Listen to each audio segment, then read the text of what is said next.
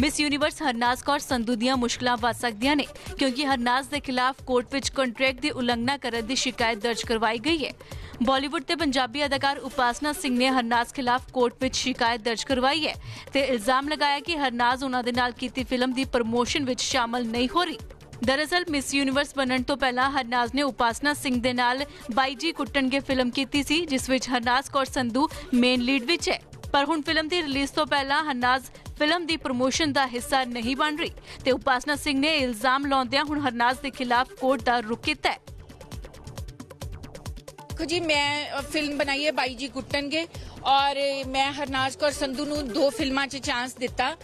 ਬਾਈ ਜੀ ਕੁੱਟਣਗੇ ਔਰ ਇੱਕ ਸੀਗਾ ਯਾਰਾਂ ਦੀਆਂ ਪੌਂ 12 ਉਹ ਫਿਲਮ ਮੇਰੀ ਅੱਗੇ ਆਏਗੀ। ਤੇ ਸਾਡੇ ਕੋਲ ਦਾ ਕੰਟਰੈਕਟ ਵੀ ਹੈਗਾ 25 ਦਿਨ ਦਾ। ਹਰਨਾਜ ਕੌਰ ਸੰਧੂ ਜੀ ਹੁਣ ਮਿਸ ਯੂਨੀਵਰਸ ਬਣੇ ਨੇ। ਉਦੋਂ ਇੱਕ ਫਰੈਸ਼ਰ ਸੀਗੀ, ਨਵੀਂ ਲੜਕੀ ਸੀਗੀ। ਤੇ ਉਹ ਕੰਟਰੈਕਟ 'ਚ 25 ਦਿਨ ਲਿਖੇ ਹੋਏ ਆ ਕਿ ਮੈਂ 25 ਦਿਨ ਤੁਹਾਡੇ ਨਾਲ ਪ੍ਰਮੋਟ ਕਰੂੰਗੀ ਫਿਲਮ ਹੁਣ ਮੈਂ 3-4 ਮਹੀਨਿਆਂ ਤੋਂ ਉਹਦੀ ਲਗਾਤਾਰ ਮਿੰਨਤਾਂ ਕਰ ਰਹੀ ਹਾਂ ਕਿ ਪਲੀਜ਼ ਤੂੰ ਮੈਨੂੰ ਚੱਲ 25 ਦਿਨ ਨਹੀਂ 5 ਦਿਨ ਦੇ ਦੇ। ਮੇਰੀ ਡੇਟ ਚੇਂਜ ਹੋ ਗਈ 27 ਮਈ ਤੋਂ ਮੈਂ 19 ਅਗਸਤ ਫਿਲਮ ਕਰਤੀ ਕਿ ਕੀ ਪਤਾ ਹੈ ਮੈਨੂੰ ਟਾਈਮ ਦੇ ਦੇ। ਪਰ ਉਹ ਨਾ ਤਾਂ ਕਿਸੇ ਮੇਰੇ ਜਵਾਬ ਦੇ ਰਹੀ ਹੈ, ਕਿਸੇ ਮੇਲ ਦਾ ਜਵਾਬ ਦੇ ਰਹੀ ਹੈ, ਨਾ ਹੀ ਕਿਸੇ ਹੋਰ ਗੱਲ ਦਾ, ਨਾ ਹੀ ਉਹਨੂੰ ਮੈਸੇਜ ਦਾ, ਨਾ ਫੋਨ ਦਾ ਜਵਾਬ ਦੇ ਰਹੀ ਹੈ।